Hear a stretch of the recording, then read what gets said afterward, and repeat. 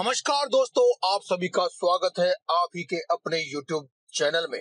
दोस्तों, आज की वीडियो में हम आपको एक बहुत ही ज़बरदस्त उपाय के बारे में बताने वाले हैं, जिसे करने से आपके जीवन में आ रही सभी संकटों और परेशानियों से आपको मुक्ति मिल जाएगी और साथ ही आपकी सभी मनोकामनाएँ भी पूरी हो जाएगी। दोस्तों, अगर अभी तक आपने हमारे इस चैनल को सब्सक्राइब नहीं किया है तो पहले आप इसे सब्सक्राइब कर लें, क्योंकि हम हर रोज आपके लिए लाते रहते हैं ऐसे ही ज़बरदस्त वीडियोज़ जिनसे आप अपने जीवन को सुखमय बना सकते हैं और जी सकते हैं एक सुखमय जीवन। तो दोस्तों, आज की इस वीडियो में हम आपको जो उपाय बताने वाले हैं, इस उपाय को आप बहुत ही ध्यान से सुने। दोस्तों, एक बात तो आप सभी मानते ही होंगे कि जब भी कभी हमारी कुंडली में कोई ग्रह अच्छा हो या बुरा हो, ऊंच का हो या नीच का हो, पापी ग्रह हो या पुण्य का, वह आपके जीवन में बहुत ही ज़्यादा प्रभाव दिखाता है। खासकर से शनि, राहु और केतु अगर आपकी कुंडली में अपना असर दिखाते हैं तो वे बहुत ही ज़बरदस्त रूप से दिखाते हैं। लेकिन दोस्तों, यह सभी जब अपना अच्छा परिणाम दिखाते हैं, तब किसी को कोई समस्या नहीं होती है। वह अपने जीवन को आराम से और सुखमय तरीके से जीता रहता है। लेकिन जब भी कभी कोई भी ग्रह, खासकर से शनि, राहु, केतु, अपना जब दुखो प्रभाव दिखाते हैं और मनुष्य को कष्ट देते हैं तो वह उसके उपाय के लिए मारा मारा फिरता है। लेकिन क्या कभी आपने सोचा है कि ये ग्रह आपको कभी भी कष्ट क्यों देते हैं? क्योंकि आपको ये ग्रह तभी कष्ट देंगे जब आपने अपने जीवन में कभी ना कभी जाने अनजाने कोई ना कोई गलत कार्य किया है। कोई कर्म आपने गलत किया है या कोई गलती की है। आपने किसी ईर्ष्यावश किसी व्यक्ति का दिल दुखाया है या फिर कोई गलत कार्य कर बैठे हैं। तभी आपको इस प्रकार के कर्मों का भोगना पड़ता है और एक व्यक्ति के किए गए कर्मों का फल पूरे परिवार को भोगना पड़ता है। जिस प्रकार से आपने सुना होगा कि एक बस में कोई पापी व्यक्ति बैठा था, जिसकी वजह से पूरी बस ही पलट गई।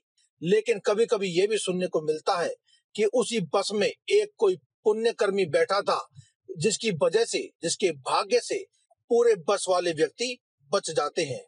उसी प्रकार से एक व्यक्ति के द्वारा किए गए गलत कार्य पूरे परिवार को भोगना पड़ता है उसका परिणाम। जब भी किसी अच्छे ग्रह नक्षत्र का व्यक्ति एक जगह जब बैठा होता है तो सभी के जीवन को वह तार देता है। वहीं अगर कोई बुरे ग्रह नक्षत्र का व्यक्ति किसी के साथ जब बैठा होता है तो उसके जीवन को भी वह बर्बाद कर देता है। कभी कभी आपने जैसे कि देखा होगा कि किसी किसी ग्रह में, यानी कि घर में, जब कोई व्यक्ति ऐसा होता है जिसके ग्रह नक्षत्र खराब होते हैं, ईर्ष्या व जलन के वश वह षड्यंत्रकारी कार्य करने लगता है, जिसकी वजह से पूरे के पूरे घर परिवार ही बर्बाद हो जाते हैं। तो अगर आपको भी लगता है कि आपके ग्रह नक्षत्र आपका साथ नहीं देते हैं, आपके कर्म अच्छे हैं, हो सकता है कि आप अच्छे कर्म करते हो, अच्छे व्यक्ति हो, अच्छे आचरण के व्यक्ति हो, लेकिन फिर भी आपको कष्ट भोगना पड़ता है, क्योंकि हो सकता है कि आप जिस किसी व्यक्ति की संगत में है यानी कि जिसका भी आप साथ देते हैं, उसके ग्रह नक्षत्र ठीक ना हो, अच्छे ना हो, इसीलिए आप अपनी संगत को सबसे पहले सुधारिए। आप अपनी संगत को अच्छा करेंगे तो आपकी संगत में जो व्यक्ति होगा, उसके ग्रह नक्षत्र आपका साथ देंगे और आपके ग्रह नक्षत्र का असर उस पर पड़ेगा और उसके अच्छे ग्रह नक्षत्रों का असर आपके ऊपर पड़ेगा। क्योंकि दोस्तों, जब भी समय आपके साथ में आपकी परीक्षा लेता है तो वह बहुत ही बुरे तरीके से लेता है। आप देखेंगे कि किसी भी एक तुच्छ सा मानव, तुच्छ सा व्यक्ति जिसके बारे में आपने कभी सोचा भी नहीं होगा, वह आपको आकर के नीचा दिखा जाता है। आप बाद में देखते हैं, सोच के पछताते हैं कि ये व्यक्ति भी मेरी बदनामी कर गया और मुझे पछतावा दे गया। क्योंकि दोस्तों, वह अनुभूति उस इंसान की नहीं थी, बल्कि उसके ग्रह नक्षत्रों की थी। उसके गलत ग्रह नक्षत्र आपके जीवन में आपको परेशान करने के लिए आए और आपको तंग करके चले गए और आपको ज़िंदगी भर के लिए नीचा दिखा दिया। क्योंकि दोस्तों, समय बड़ा बलवान होता है। जब समय अपनी फेर लेता है तो व्यक्ति के जीवन में अंधेरा ही अंधेरा होता है। उसे कहाँ से आकर के लाठी पड़ेगी और कहाँ से मार, उसे खुद भी नहीं पता होता है। तो दोस्तों, अगर आपके जीवन में भी कुछ ऐसा ही हो रहा है कि आपके जीवन में, आपका वक्त, आपका साथ नहीं दे रहा है। तो आप सबसे पहले अपनी संगत को देखिए।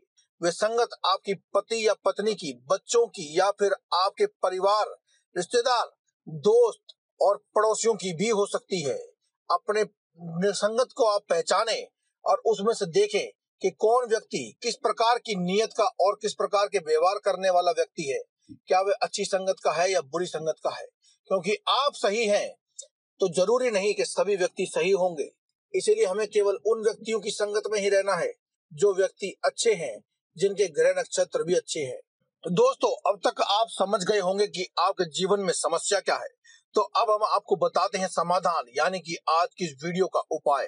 दोस्तों, आपको क्या करना है कि आपको एक छोटी कटोरी में थोड़े से जौ लेकर के आपको अपने घर के उत्तरी दिशा में जो घर का कोना है, या फिर आपके कमरे का जो कोना है आपको उस कोने में, उस जौ को रख देना है। और एक या दो दिन के बाद आपको इसमें से पाँच दाने जौ के निकाल लेने हैं। अब पाँच दाने जौ के निकाल देने के बाद आपको सिंदूर लेकर के अपनी हथेली पर रख लेना है। और हथेली पर सिंदूर रखने के बाद उन पाँच दाने जौ को रखकर, उन जौ के दानों को सिंदूर में अच्छी तरह से लपेट लें।